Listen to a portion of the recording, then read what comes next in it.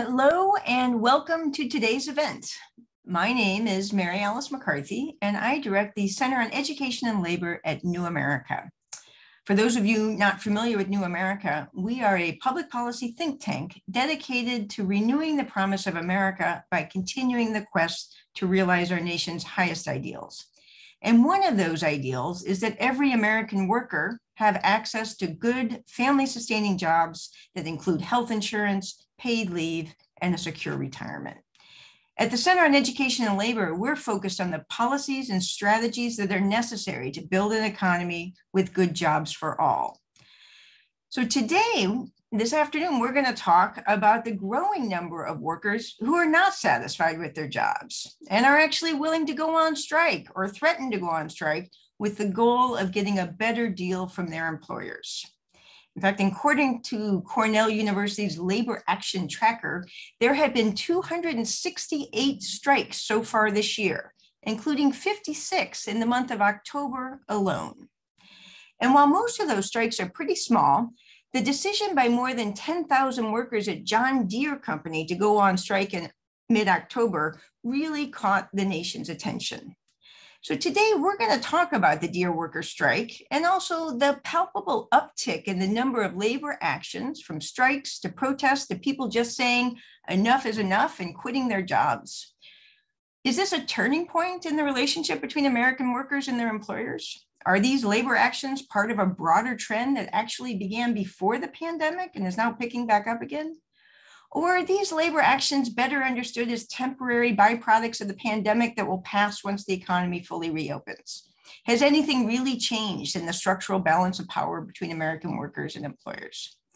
To help us sort through these questions, we're going to hear from three esteemed panelists today who have a long history of writing and researching about labor issues and workers. Specifically, we'll hear first from journalist Dr. Maximillian Alvarez, who is also the editor in chief of the Real News Network, a digital news platform that has a very active labor beat. Next, we'll hear from Professor of Communication Studies, Dr. Christopher Martin of the University of Northern Iowa, and author of No Longer Newsworthy How the Mainstream Media Abandoned the Working Class. And then we'll hear from Dr. Toni Gilpin, a labor historian and author of the recent book, The Long, Deep Grudge, a story of big capital, radical labor, and class war in the American heartland. And last, but certainly not least, we hope to hear from you and your questions for the panelists. So let's go ahead and get started, and we'll kick it off with you, Max. Let's start by talking about the Deere strike. Uh, on October 14th, John Deere workers, represented by nine union locals across 14 plants, voted overwhelmingly, 99%, to go on strike. And before they did that, they voted again overwhelmingly to reject the six year contract that their union, the United Auto Workers, uh, had negotiated with the company. I think it seems fair to say that this strike caught both John Deere and the UAW a bit by surprise. So, can you just talk to us? And, you've written about the strike. What happened, and, and how did the UAW agree to a contract that 90% of its workers rejected? It's a great question. so, I mean, I think, you know, I just wanted to kind of say up front that I'll, I'll try to stick to details that won't date this conversation too much. But as we speak, um, UAW members with John Deere are currently voting on, or maybe voting just finished, um, uh, but they are currently voting on ratifying the new contract that's been proposed. Uh, but as you mentioned, um, they overwhelmingly, like over 90 percent of the people who voted voted it down uh, in early October when they were presented with the initial contract. Um, and I think that that's really the important place to start with the question that you asked, right? Is like, um, how could there be such a staggering divide between the rank and file and John Deere and the UAW international leadership? Um, because that was a pretty darn significant divide. Right. And in retrospect, it really shouldn't be all that surprising. I mean, I think one of the things that I always stress to people uh, is that you know we can talk about this later uh, in in the panel with everyone kind of involved. But I mean, there is, as we've been trying to track at the Real News Network, right, um, something happening uh, right now. Um, the the labor movement has been knocked on its back uh, for many decades, and so we we obviously need to temper our expectations, right? I mean, even though we are excited about the strikes that have been cropping up, the kind of increasing sense of labor militancy, not just within uh, unions, but you know it's really manifesting in things like historic numbers of American workers voluntarily quitting their jobs um, and and kind of being way more vocal in public about uh, you know the what what kind of treatment they're getting at their jobs and what they're not going to put up with anymore. And so the fact that so many workers in the United States, um, but not exclusively, are feeling a bit more emboldened to take this step, I think is really significant. And it's also not, you know, unprecedented, right? This is something that tends to happen after periods of great um, sacrifice, right? I mean, a lot of people compared COVID 19 to the Spanish flu a century ago. You know, a century ago, after the Spanish flu in 1918, you did see a lot of increased kind of labor militancy, not just because workers you know had made a lot of sacrifices during the spanish flu but because they had made a hell of a lot of sacrifices during wartime right and they had also made a lot of uh, sacrifices to keep production going to not kind of assert, you know, like their demands in the workplace for the greater nationalist effort. There's a lot of history I'm paving over, right? Where, you know, in, in, including the AFL, like really, uh, you know, squashed its left wing um, to make the sort of bargain with the government that, you know, it would keep production going, yada, yada, yada. Point being is that after that, you did see a lot of workers say, hey, we tightened our belts. We made, you know, the war effort possible. We we kept this country afloat we want restitution right you know like we we want what we are owed you are seeing a kind of similar generalized sense among the american workforce now that has not only been tightening its belt and keeping society afloat through the covid-19 pandemic including workers at John Deere who were deemed essential and who risked their lives for the past 2 years to keep not only keep this company going but to make it more profitable than it has ever been in its history. John Deere is slated to record between 5.7 and 5.9 billion dollars in profits this year. That's almost double its its most profitable year in the past. And yet, uh, that first contract that was proposed w- was demanding more concessions from workers. So that that that's where I'm kind of getting with this, right? So after workers have sacrificed a lot, after they've been told how essential they are and praised in the media for all the sacrifices that they're making something really isn't adding up here as we are quote unquote kind of eking our way out of the pandemic where you know workers are being told to give up more by bosses and companies that are raking in more than they ever have. I think that's really the elephant in the room here. We we tend to feel like perhaps we did in the Great Recession, that all of us are in the same boat, that there, we're all just trying to survive. That's not the case. We're not in the same boat. A lot of us, primarily working people, had to sacrifice a whole hell of a lot over the past two years, just like we sacrificed a whole hell of a lot in the wake of the recession. That is not the case for companies like John Deere they didn't sacrifice crap right like they are re- they are raking in as i said record profits and a lot of companies that have been experiencing strikes have been seeing record demand. That includes Frito Lay, and their workers went on strike in July. A lot of people are staying home in the pandemic. That means a lot of people are eating a lot more chips. Production has been ramping up, but Frito Lay treated its workers so terribly that it couldn't retain a lot of people. So it was forcing the staff that remained into a bunch of forced overtime. So they were working, you know, like over 12 hours a day, seven days a week, never seeing their family. And then again, being told in contract negotiations that they had to give up more for a company that was seeing that sort of record demand. Same was true with Nabisco. Same was true with the Heaven Hill distillery workers. A lot of people were drinking a lot more whiskey over the, the pandemic. And yet these workers were being told to accept uh, more cuts. So what you're seeing here is a real general, I think, hazy sort of class struggle happening here, where more rank and filers, whether they are attached to uh, an organized labor movement or not, are really sensing that sort of divide between the workers who have sacrificed a lot and um, you know the people at the top who are just raking in record profits paying huge dividends. The john deere ceo gave himself a, a, huge raise you know and paid a huge dividend. So something's really not adding up. And unfortunately the uaw international leadership um, you know was was was is is way more kind of aligned with management uh, and the fact that it did not kind of sense that the rank and file would overwhelmingly reject this initial contract is kind of a, a clear as day example of how that big that divide is so let me let me ask a follow up question, Max. Um, you know, you have been writing about a lot of labor actions. You know, taxi drivers in New York, the Kaiser Permanente workers, the um, the miners in Alabama. Um, and you know, in hearing you talk too, a, a you know, one of the in one of the articles you you you talk about how the the sort of contagion effect of sort of successful labor activism. So I'm just wondering, in the conversations that you're having with workers on the ground and and and sort of also with sort of other researchers and experts, are are you getting a sense that that people are are are leaning in and hearing, you know, are being affected by what other workers are doing in other in other areas. You know, we saw that a little bit with the with the Red for Ed strikes in the 2018 and 2019. Is it is it are, are people sort of be feeling emboldened by what's happening or are these kind of isolated events that that that you're seeing?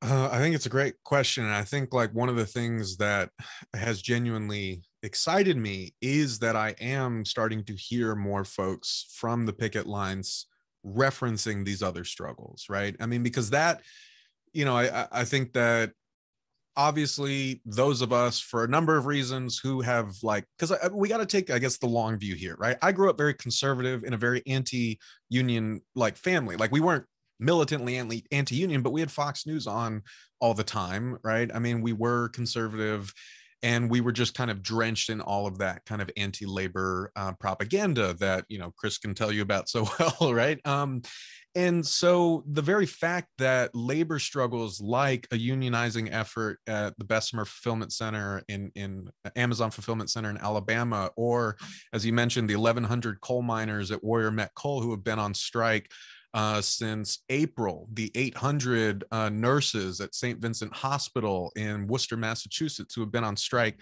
since March, right? The very fact that these would even be news stories um, is it has been kind of unthinkable for most of my lifetime. So it is genuinely exciting that more and more people are getting invested in these sorts of struggles and more and more people are identifying with these struggles. I think that that's one of the kind of key things here, right? Like after the recession, the ruling class could not help themselves. They've just tried to take more and more and as much as they possibly can. And so more and more people have been pushed into that downward funnel of the what Bernie Sanders famously called the race to the bottom whether that be gig workers, whether that be educators, whether that be healthcare workers. Workers have been getting ripped off in this country for a long time. And yet, um, the pandemic made it abundantly clear that, as I said, we're not all in the same boat. The wealth of the 1% has exploded over the past two years to really unfathomable numbers, as have the profits uh, and, and consumer demand for a lot of the uh, businesses that are experiencing strikes right now, as I mentioned. And so, again, I think that the more people feel identified with that sort of labor strife, the more invested they are getting in these kinds of stories and that's exciting.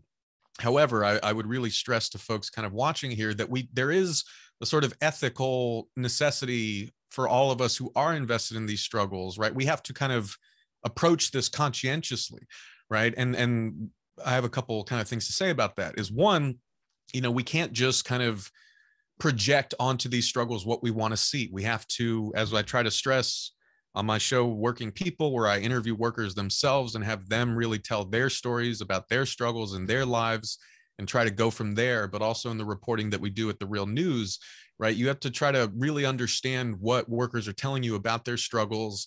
Uh, you have to really kind of know what is there and what isn't and be responsible with how you're sort of reporting this stuff um, because workers are not stupid right? People will know if you're misrepresenting their cause right? And they will you know act accordingly. And so i've seen some people kind of jumping in talking about oh this is the beginning of a general strike or this is a huge strike wave and like look i want that more than anyone too right? But we're as as luis feliz leon and i wrote in in a piece recently for the real news like we're not quite there yet, right? The labor movement itself has a lot of work to do um, to increase rank and file democracy in its ranks. We're seeing that play out in the John Deere strike right now. The UAW is currently, the membership is currently voting on a historic referendum that would allow the membership and retirees to directly elect their international union uh, leadership like the Teamsters were able to do a couple decades ago, that would be hugely significant. That would give the rank and file more say over the kind of bargaining that the leadership is doing in secret to present the kind of contracts that were overwhelmingly rejected by John Deere membership earlier last month. But uh, here's here's what I'll say, and then I'll shut up. Is that as far as like whether or not this is a strike wave, right? And and what we can make of this moment, what I've been trying to kind of tell people is that there are a lot of institutional barriers to the organized labor movement growing at the rate that we want it to. There are a lot of internal problems with unions that that that need to be addressed um, in in the kind of necessary rank and file struggle. Um, there are a lot of legal barriers, as we saw with Amazon, that that empower bosses to smash organizing efforts. There are a lot of there's a long history of corporate media either drowning out labor coverage or covering it very unsympathetically, right? So we have a long way to go until this can like really develop into a big unified thing. But what I think is exciting, right, is that as you mentioned, Mary, like, you know, a couple of a number of strikes happening at the same time is different from a strike wave, right? Um, what what is essential for a wave is that it is self-referential, that it recognizes itself as something collective, that people are seeing other strikes and saying, hey, you know, like they're doing it, we're getting screwed over. Maybe we should do it, right? I am hearing more people talk about that. I am hearing more people say, I saw my coworker quit and put out their resume on indeed.com and demand twice what they were getting owed and they got it. So now I'm going to quit, right? I mean, so people are taking notice. The kind of amount of support that labor struggles are getting online is playing some role in that and we in the media have a responsibility to put that out there and to be those connector points that allow people to see one another and learn from one another and their struggles. And so I do think that you know you're seeing a lot of great messages of solidarity with folks you know like on the kellogg's picket line uh folks ufcw farm workers kind of posting about solidarity with kellogg's workers um you know people uh at john deere um, and and other picket lines kind of expressing solidarity with one another people showing up to the taxi uh, uh, the the hunger strike that taxi workers in new york are still on uh, they are literally starving themselves because they've been screwed over by City Hall and burdened by massive amounts of debt. Uh, and Mayor Bill De Blasio isn't doing anything to really address that. But people are saying they're they're they're drawing those connections. They are they are starting to be more vocal about what unites us. Um, and I think that that is significant. Wonderful. Thank you, Max. And what a, what a perfect segue now to, to you, Chris. Um, you're located in, at uh, the University of Northern Iowa, which is just four miles from one of the plants, the John Deere Engine Works in Waterloo, that's on strike. So, can you give us a sense of, of, of what the mood is in your community and, and just how the broader community is responding to the strike and the strikers?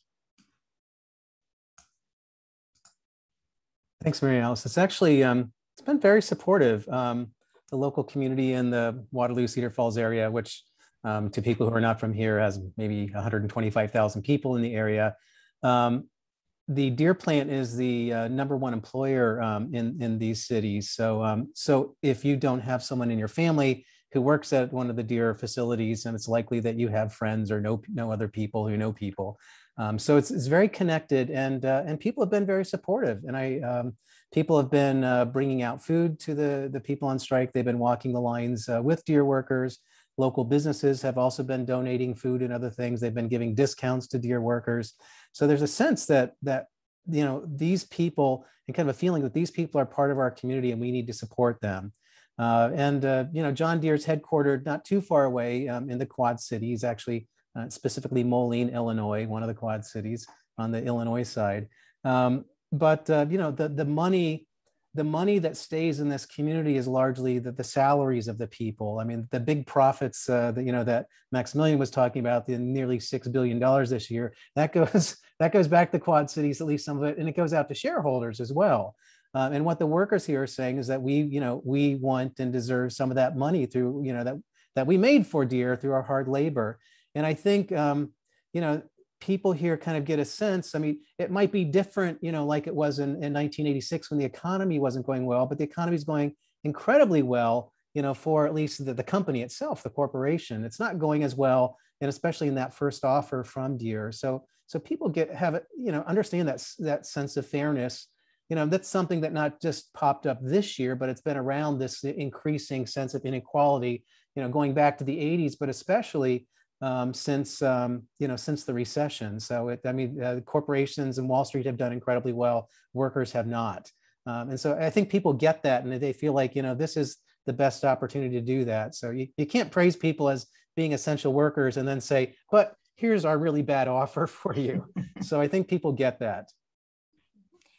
Great. And um, in your book, No Longer Newsworthy, um, you write about how the coverage of labor disputes has, has, changed from what it was in like in the 40s and 50s and how it changed a lot in the 80s and 90s. Um, mm-hmm. I was wondering if you can share with us a little bit about how that coverage changed. And then the question of whether or not is, is the coverage change? Do you see any difference in the coverage today from what we've gotten so used to in the in the last few years? Yeah, thanks. That's a good question. Um, the the what we know as a labor beat, um, and a beat means that a reporter is assigned to cover that you know that topic, um, emerged in uh, you know for the most part in the 19 teens and 20s, at least in kind of a formal sense at the New York Times and other places. And by the middle of the, the 20th century, most uh, newspapers and cities of any decent size had at least one labor reporter. There's a certain point by mid-century where the New York Times has at least four labor beat reporters. Um, so it's, uh, it's just one example. So it it started to change a little bit in the, the late 1960s, early 70s as newspapers, which are and still are the main source of you know generating news. So oftentimes what we see on TV and hear on radio was first reported by by a newspaper, although that's changing a little bit, and I'll get to that. Um, but we started to see um, a shift as those newspapers consolidated and became bigger businesses that were publicly traded on Wall Street and and, and the uh, the marketing and business people got an idea like hey we should you know start targeting up more upscale people. Instead of going for a mass audience which includes the working class we should go for a much more upscale audience. And you start so you start to see that uh, through the 70s and 80s and 90s um, through just about every medium you know newspapers tv cable, radio. Um, if you look at their, um, you know, who they're advertising and look at their advertising or press kit, it usually talk about how our, you know, our readers or viewers are, you know, uh, over 100% above, you know, the the the typical, uh, you know, median income in America, and they're more educated and, you know, et cetera. They live in nice zip codes. Um, and so that can be a profitable way for an, a news medium to work. But what you end up doing, and is the subtitle subtitling book, is abandoning the working class. So, so no one's really kind of talking to them. So we see the decline of the labor beat. We see the rise of what I call like the workplace or workplace lifestyles beat. So, you know, targeted at middle class people who work in offices rather than other places, you know, and it's it's stories about, you know, office romances, what to wear on casual Fridays and things like that. Uh, and we also see the rise of, of personal finance. So magazines like Money Magazine, uh, an increased focus on business at a number of newspapers. Uh, and the idea is like that it appeals to people who you know have some extra money and are playing the stock market. Again, like there's this kind of it's for upscale audiences, it's not for a mass or working class audience. And so you see those people abandoned. I mean, I won't go too much into this, but they end up, uh, at least the white working class gets picked up by a, a, nascent conservative media who's appealing to them not on economic issues, but on cultural issues like, you know, the war against Christmas and things like that, that you've probably heard about. Um, real big crises. Um, what's interesting, and to get to the second part of your question, Mary Alice, is that um, in this current wave of strikes, um, the, the mainstream legacy media have been kind of underprepared because they really don't have a lot of labor beat reporters. But we've seen a couple things happen. One is that uh, because there have been so many um, strikes and walkouts and other labor um, actions in the past few years, you start to see um, uh, just local newspapers, like you know, my local newspaper is the Waterloo Courier, which is part of the Lee Enterprises, one of the bigger chains in the country. They don't have a labor beat reporter, and the, the whole uh, the whole staff has actually shrunk quite a bit in the past couple years, but they've actually started putting general assignment reporters on labor. First, you know, if you remember during the, uh, the early parts of the COVID crisis, meatpacking uh, was a really hot spot in terms of getting COVID, and a lot of people died, including in this, this town. And now it's John Deere workers. So again, there's a lot of things they're covering right in their backyard that they couldn't ignore because it's because workers are being much more outspoken and active. And so you can't ignore it. So we've had um, legacy newspapers and legacy media covering labor where they hadn't done so before because they weren't really committed to it. And then we have a, a set of, um, of digital um, organizations uh, covering um, labor that, uh, that are new. And so I, I, can talk a little bit more about that, but you know, Maximillian uh, would be you know one example of those people. So we have people with um, you know the Real News, uh, Vice, Politico, Bloomberg, BuzzFeed, Center for Public Integrity, Payday Report, ProPublica, um, covering labor um, because they saw an opportunity that that the legacy media really wasn't doing a very good job of covering that. So that's been a really interesting thing, I think. Yes, it, it does. I will say it's been uh, really encouraging to see all the new coverage, and, and it is a different kind of coverage of, of these labor uh, disputes and of the workers, and, and how much worker voice too is getting into these new um, into these newer outlets that are doing a lot of interviewing, a lot of on the ground interviews. Um, one of the things that I always remember from your book was you discussing, I think it was a strike against Nabisco, maybe, and that and that all the television reporting was about reporters sort of you know lamenting that their hostess cupcakes would be harder to get or something. And and that that, that the new the, the coverage lately I, I, again as someone who who grew up in that in the 80s and 90s I, I do remember strike coverage focusing a lot on on the inconveniences that strikes caused to many consumers whether they were transportation strikes or the patco strike or whatever and Interestingly, I have not yet read a, an account so far that really hones in on how inconvenient this strike is for everyday workers or consumers. Is, is am I imagining that, or is it just not relevant this time around, or, or what's changed? Yeah, that's that's a really good point. Yeah, I, I've talked about how you know minus a labor beat, the focus was more on people as consumers and so, yeah, so if there's a strike, it's like what we can't get. But I've not, I, you're right. I have not yet heard the story about saying someone, I can't get my John Deere, you know, green lawnmower, riding lawnmower um, because of this strike. It's messing me up. Um, stop it already. Um, we haven't seen that. And I, I think one of the things that's happened, um, and I argue that it goes at least back to Occupy Wall Street in 2011, is that we start to see the change of language. And uh, people criticize Occupy Wall Street, a lot of pundits saying, oh, they don't know what they're doing. They're a bunch of hippies and they don't have a leader and they don't have a political agenda. So um, this is going to be completely inconsequential. But it really changed the way we talk about um, economics. So we had, you know, everyone knows what you mean when you're talking about the 99%, the 1%. In fact, Maximillian just used that term, I think, a little bit ago. Um, it, it's ingrained in us now, right? I mean, we didn't have that language before, but now it's a common, that common part of our lexicon, it's part of our politics too.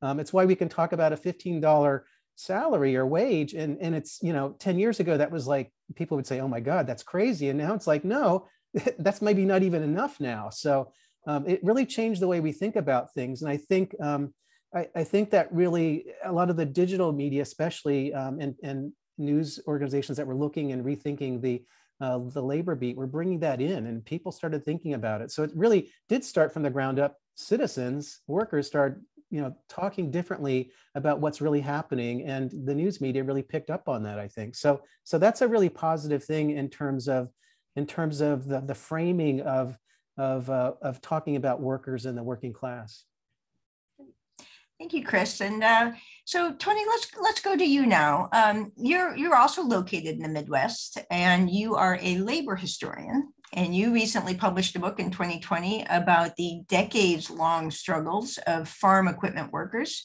that is, workers who manufacture tractors and other types of agricultural equipment. So, can you help us put today's strike into historical context? Some of these plants uh, are, that are striking right now are located in communities that have long histories of farm equipment workers and labor militancy. Um, so, yeah, and, and a lot of them have a pretty radical background. Can you give us a little bit of that background?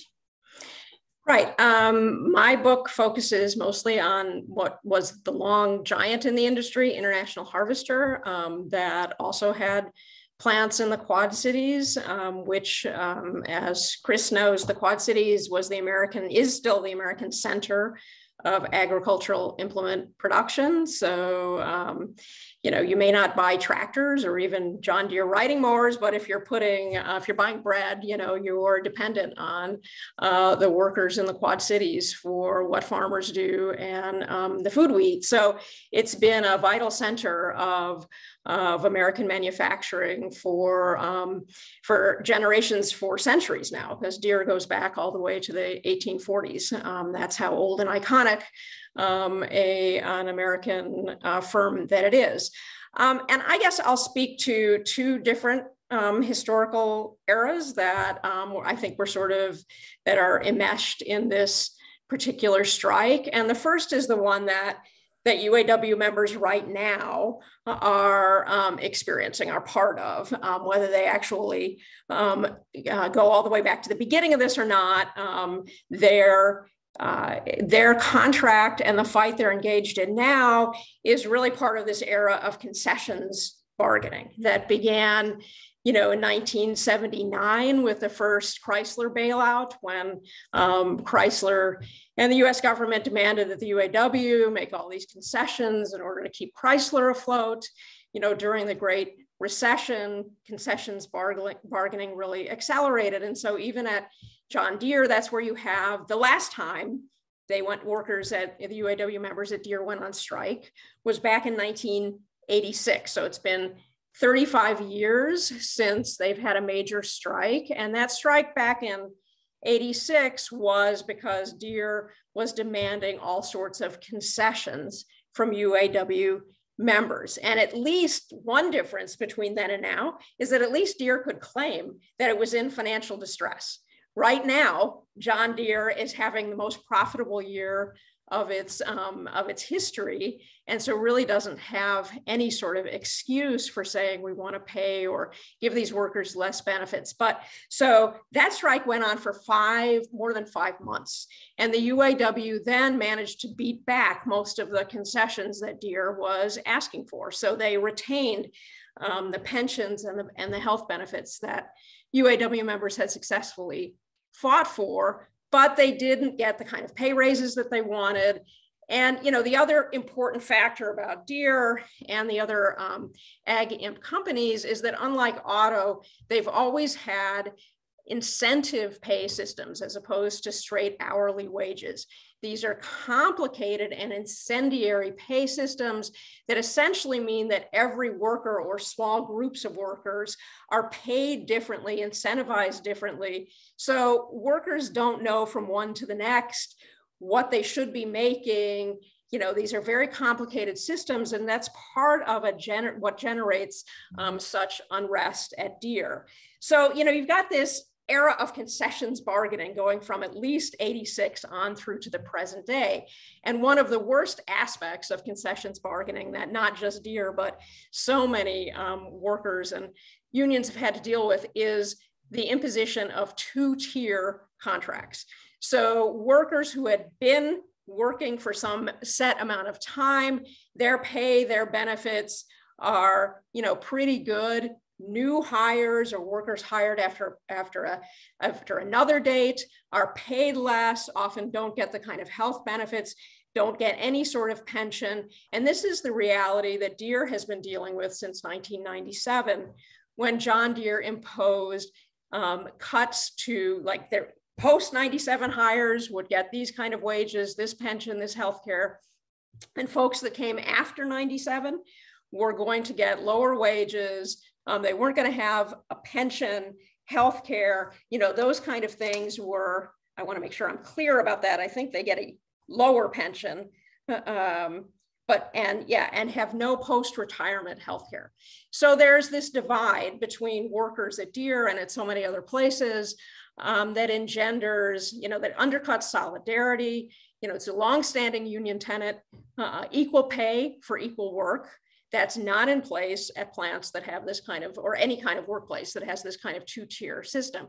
So that's the era of concessions bargaining that workers right now are dealing with. And one of the big demands that's at work and one of the things that will either um, sink or float the contract that they're voting on today, the temporary um, agreement that they're voting on today, is this idea of what's going to happen with the people that have been hired since 97 because they don't get any post-retirement health care from the company. So that's one of the big issues, and that's and that is still will still be the case if this contract is ratified.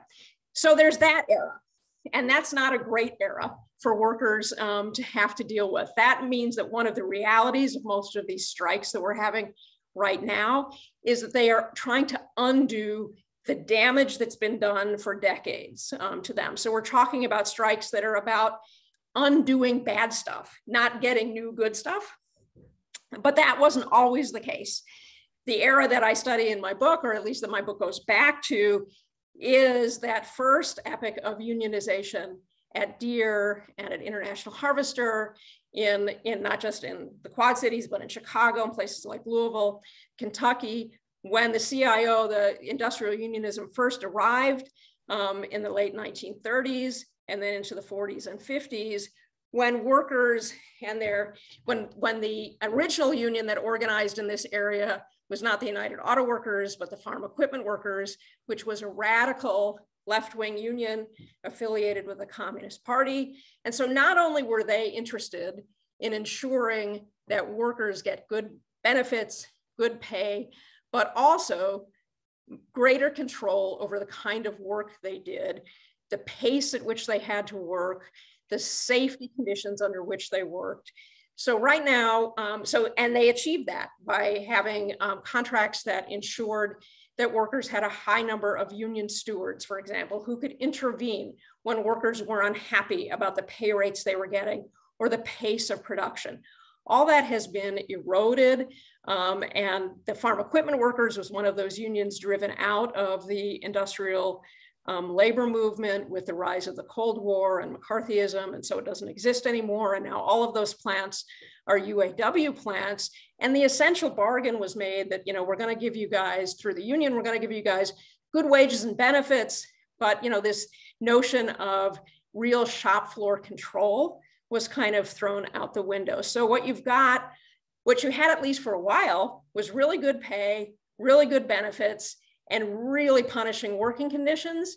Now you've got the punishing working conditions, not such great pay, not such great benefits. And if you've been hired recently, it really sucks. So, so you know, so this is um, what workers are now trying to grapple with.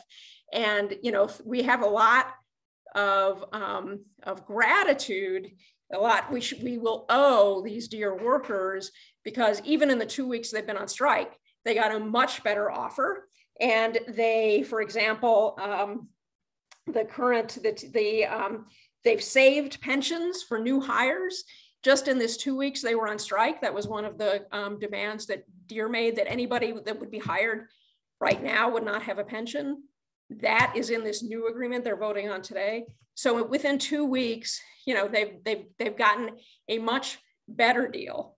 Whether these workers who are really, as Max and Chris have talked about, are immensely frustrated, immensely aggrieved, whether it's going to be good enough, whether it's going to put enough back onto onto the table, that will be um, the question um, we'll we'll be dealing with. Thank you for that, Toni. That was that was really helpful, and it, it sparked a bunch of add-on questions uh, in my mind too around this. You know, uh, the way you know again for so long there's been this general acceptance of the idea that the deal that workers got in the 50s 60s and 70s it was completely unaffordable for workers in the 80s 90s and later you know and that for for most of my life it's just been about younger workers newer workers. Shouldn't even imagine things like pensions or imagines the kind of benefits that that, that these other workers negotiate for themselves.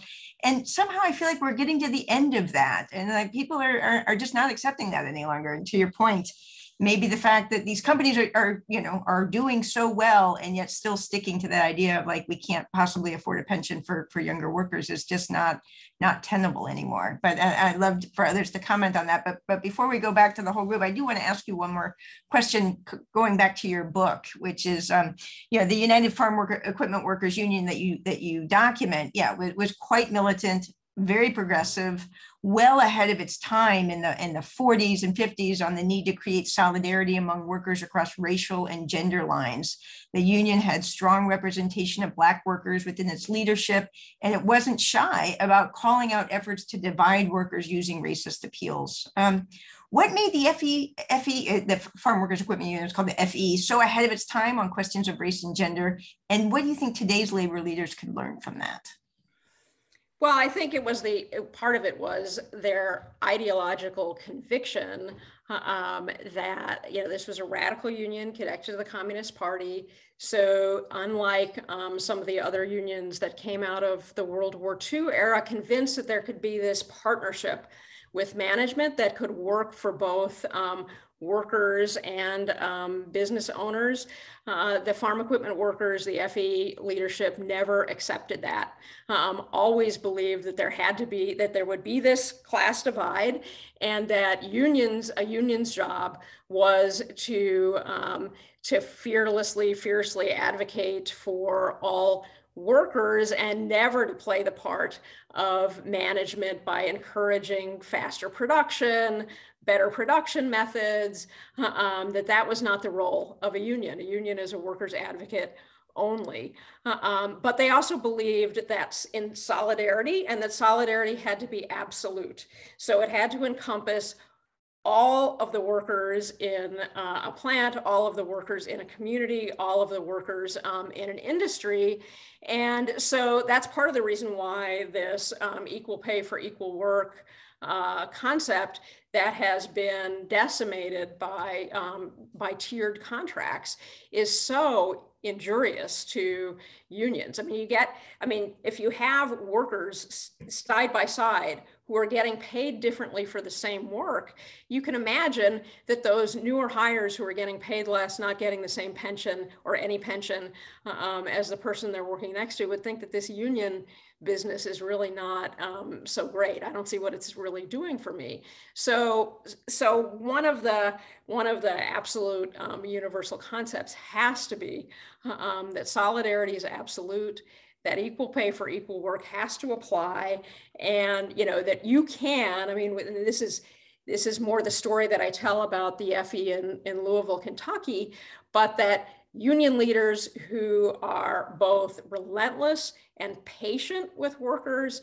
And in Louisville, you had some workers who were who were as dyed in the wool racist as you can get. They created in that union, nonetheless, a culture of solidarity that brought black and white workers together, such that they were not just fighting the company and going on strike together on a rel relatively routine basis, but also took that fight um, against um, segregation in the Louisville community together. So, so it can be done. And I just want to I want to make one more point before I know we're going to turn it back to um, to everybody else, and that is that you know we're talking about you know do we have a strike wave? Can we can we see more strike activity?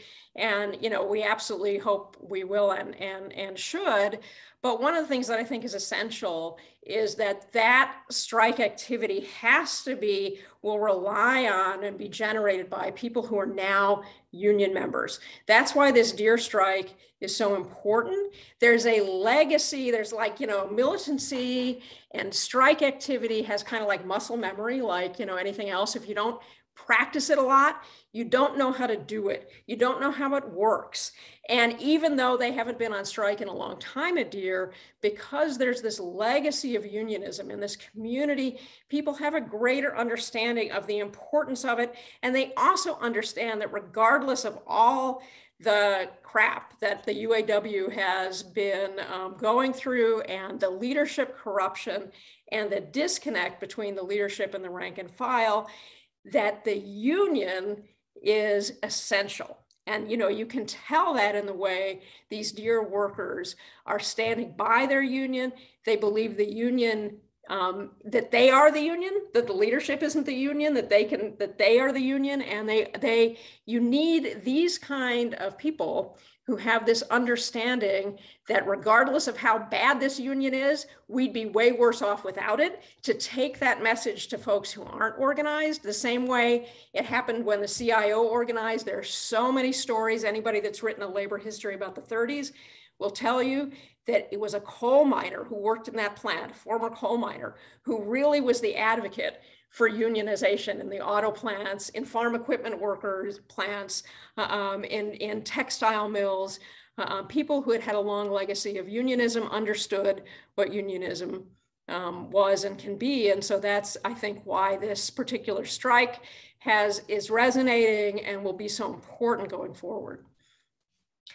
Thank you. Thank you, Toni. And I do want to turn it back over to, to Max and Chris. But before I do, I, I want to encourage um, any audience members, this would be a great time if you have a question for, for our three panelists to, to pop it into the chat because um, we'd, we'd love to, to get to those. But but um, Max and Chris, I mean, I first you might just want to sort of comment on anything that you've been hearing, and please please do. And um, and I I, I would also love for you to you know your thoughts on this idea of like that we're, we're seeing sort of a generational shift here too and that that this idea that it was okay to have a different different different bargain for older workers than younger workers or, or, older workers than newer workers. Is, is that what we're seeing or am I picking that up wrong? But anyway, I just want to open the floor and please comment on, on anything and, and if you want to comment on that in particular. Yeah, absolutely. So I definitely have thoughts on that, but um, it's it's been so great listening to to Chris and Toni and you, Mary. It's um I feel like it's been a nice group effort, right? Because after I finished talking, I was like, oh crap, there are a bunch of details about the Deere contract that I didn't even get to. Here comes Toni with just smashing it with the details and the historical context. Here comes Chris kind of giving the the lay of the land about the media industry. So it genuinely, it's one of those kind of conversations where it feels like everyone's uh, really lifting everyone up, and I just am grateful for the opportunity to be part of it. And before I go on my tirade, I wanted to also give uh, some shout outs that I meant to give at the top. One, uh, thank you to New America for putting this on. Thank you to everyone behind the scenes for organizing this important discussion. Uh, folks watching now can't see them, but they really have done a heroic and incredible job to put this together. Uh, so we're all incredibly grateful for them. Picking up on something that Chris said, right? You know, like as someone who, you know, has kind of found my way into media in general and also the labor beat you know i am i am by no means um kind of ignorant of the fact that um you know none of us would be here if it weren't for you know folks who had been holding that beat down like voices in the wilderness for a long time some of which you know were already mentioned. But given the nature of this conversation, I would say that my knowledge of the Deere uh, strike would be very limited if it wasn't for the great reporting done by Jonah Furman and the folks over at Labor Notes great team over there, Luis Feliz Leon, Dan DiMaggio et al. Um, but also, you know, uh, Sarah Jaffe and Michelle Chen at Belabored Podcast have been doing incredible work. Kim Kelly as a uh, is really like has has almost single handedly held up this 1100 miner strike in Alabama and pushed it into public consciousness for the past eight months because she cares about the miners and their families who are doing everything they can to hold the line, who are preparing to give their kids kind of donated packages for Christmas and stuff. That's, I think, what solidarity really means. And, and we are all in solidarity with the great labor journalists out there who have been holding it down. And I really just wanted to shout out their work. Also, wanted to shout out the fact that, you know, we're talking about John Deere.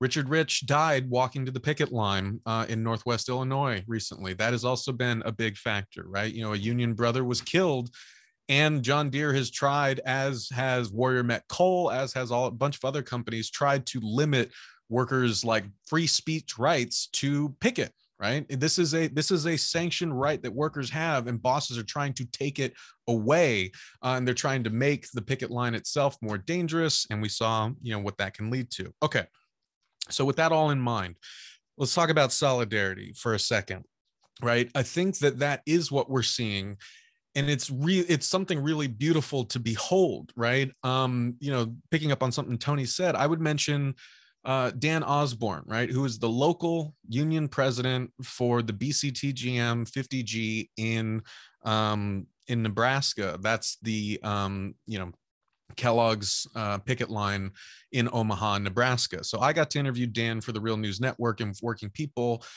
we talked about the strike, right? We talked about the fact that workers like Dan, who's been at that Kellogg's plant for 18 years, are essentially putting everything on the line right now and they're not really asking for anything. They're for the old timers, they're just saying we want to keep what we have. We're really going to the mat for this second tier of workers who are getting screwed over because we see where this path is leading, right? What essentially all these companies are trying to do with this two tier and third tier system is first you know it's the it's the most basic example of divide and conquer right? You you have people literally on the same shop floor doing the same amount of work for the same amount of time who are getting paid wildly different rates and who are who are um, some have better benefits and protection some don't have any. And so then you get pissed off looking at the person next to you instead of the boss above you who is the one who's created these sorts of conditions. Unions like the bctgm are going to the mat and saying like we want to raise the floor for all of our workers because this is going to be a race to the bottom if we let this two tier system keep going the way that it is. And if you think about it as a young worker, when you come in, if you're hired, you're not thinking about a pension, right? It's you need those old timers to say, look, you're going to need this in 30 years, right? Trust us when we say they are ripping you off. And so the very fact that you know strikes like the the one at Kellogg's the the Deere strike as toni mentioned you know like workers have really um, pushed against this second tier that was already created in 1997 and then a proposed third tier that would have been created with this new contract where you know no one would have gotten any retirement so on and so forth. But going back to the original question that, that you asked me mary about whether or not people are kind of seeing what's going on and feeding off each other i think this two tier system is a perfect example of how they are. Two tier like that doesn't make any sense for your average person right? Especially if you've never really worked in a union right? It sounds kind of very in the weeds. And as chris mentioned like we are so used to only hearing about labor reporting in the vein of wages and benefits and that's pretty much it. So what is this two tier thing? And the fact that it has become a popular enough uh, concept for people to understand both what it is and why different work uh, forces are striking against it is really important. Now, here's what I would stress to to viewers, and then I will be quiet, is that this is really important. It is, as we mentioned, a two-tier system is at um, issue at the John Deere strike. It is at issue with the Kellogg strike. Uh, about 50,000 healthcare workers at Kaiser Permanente may go on strike. They are also, you know, pushing back against the creation of two-tier in healthcare. Um, Heaven Hill distillery workers were pushing against two-tier. GM workers created the two-tier a two-tier system in the wake of the recession, and they are really trying to put that genie back in the bottle because they've seen how bad it has gotten. The thing that I would stress to folks watching is that the two tier problem is not something that is just limited to unions, nor is the kind of concessionary mode that Toni talked about something that is only unions uh, only concerning unions. The working class has been taking concessions for decades, and you watching know what two tier looks like because chances are you have experienced it yourself in academia, right? 30 years ago, the amount of tenure track faculty was 70%, the amount of contingent faculty was 30. Those numbers are now flipped. Now the majority of teaching at universities is done by uh, contingent adjuncts or grad students or lecturers gig workers are a form of second tier labor right? Um, contractors in general app-based contracting whether you're a realtor like my dad used to be and now you're fighting over the lowest kind of uh, rate that you can get on these sort of apps like rocket mortgage and you're drawing in way less than than you would have 10 years ago this two tier system is basically like a generalized form of class war that working people have been experiencing. That is a form of concession. That is a concession that we are being forced to take. It is a concession that wages have by and large been stagnant for working people for four decades. It is a concession that all the profits keep going to the top 1%, even though workers are more productive now than they ever have been. We're all taking concessions. We all need to fight against it. Now shut up. Thank you, Max. And Chris, can, can you take us home here? Yeah, Mary Alice, I just want to respond to one thing about you know you asking about generational change. Um, I, I, think there, I think there's something there. Um, I have two daughters um, in their 20s, um, and I, I think for this generation, there's things that are happening that fit in with how they're thinking about labor too. So this is a generation that um, you know that that is confronted by climate change. We have like you know a bunch of like really old people in Washington making not making good decisions about climate change. Yes. Um, but but they're going to have to live with that, and they're very sensitive to that. They're also a generation that's seen, um, you know, upfront uh, Black Lives Matter. Um, they've seen violence against Asians as well, and they so they see a, a, world that's not very fair. And they've also been told that that your generation is not going to do as well as like you know the baby boomers. Sorry. so that's a lot. That's a lot to deal with. Um, um, you know, I just looking at some uh, stuff from the Bureau of Labor Statistics from just the past couple weeks. You know, white women are still earning 81.9% as much as their male counterparts. Um, black men are earning 71.7% uh, of what white men earn. Hispanic men 72.8%. I mean, I could go on, but you get the idea. There's still a lot of inequity and unfairness um, in in what's happening, and these these you know the, the legacy of uh, you know two tiered contracts you know, that the UAW signed off on, you know, decades ago. I mean, that's terrible as well. Um, and so I think, I, I, think there's a new take on it, and we see it in younger people. Um, uh, Maximillian mentioned Ken Kelly, who who writes a, a column for Teen Vogue, and it's fascinating that Teen Vogue, you know, has a, has a labor reporter who writes about those things, and that the readership is indeed interested in it. And I think that I think they I think this generation of younger people are seeing how these issues connect to them. Um, uh, I think there's people like Lauren Kaori Gurley at um, Vice and Motherboard, Michelle Chen and Sarah Jaffe, who uh, Maximillian mentioned, uh, it, among a number of other younger writers who've, who've taken up writing about um, labor and, and just work in general and how it affects people. And I think that's been really a really fascinating thing. So, so um, and that gets out of sight of a, a, very limited kind of labor beat to a much more expansive labor beat. Let's look at the, the entire economy and see how people are doing well or not doing well, who's making the money and who's not making the money. And I think that's been a, a really fascinating thing. So, so that that's my note of optimism for today. I, I really um, think that there's some really interesting things changing just just since I you know finished the book two years ago. So that that makes me happy. That was exciting. Well, we've just got a few minutes to go, and I'm going to do a lightning round with a question we did get from the audience, was which was about what needs to change in the policy world uh, uh, to empower the labor movement. Um, anybody want to jump into that with our few remaining? Uh, you know, what what what needs to happen? Are there any any policy solutions to where we are right now? Uh, uh, adopt the PRO Act. Um, that's the um, you know uh, protect our right to organize. That's it's been around. There have been bills like that for for many years now, but that's the, the current one that's out there. And um, to follow up on what Toni and, and, Maximillian has said, um, we need to carry forward that energy of, of, what's happening right now. This, this wave, um, and I liked uh, uh, what Max said, it needs to be kind of self-referential. And so it's not only thinking about what we're doing now, but what can we do for everyone else? And, and to get that passed. And I know there's a lot of big agenda items in front of that in Washington right now, but that one is really, really important. Toni, yeah, I just I would add that if you um, you know I, I think it's great that we're seeing all this kind of uh, support for labor, you know, all the way on up into you know the elite echelons, except that you know it doesn't really translate too much until we're going to see some support for legislative agendas like the PRO Act at least. And I'm also mm-hmm. going to say, you know, to temper as a historian a little bit some of the some of the um, enthusiasm about all the the good coverage that labor is getting.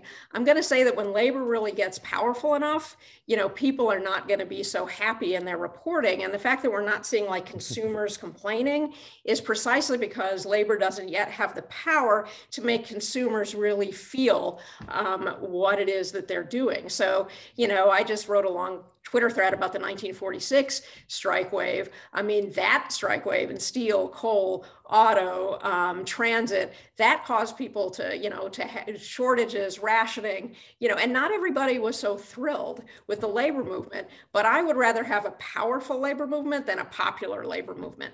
Um, because when we have that, then we can have workers like they did, like the farm equipment workers in Quad Cities did in the 40s and 50s, regardless of the Taft Hartley Act, when there was a strike, they threw everybody out onto the picket lines. They interfered with cars going in.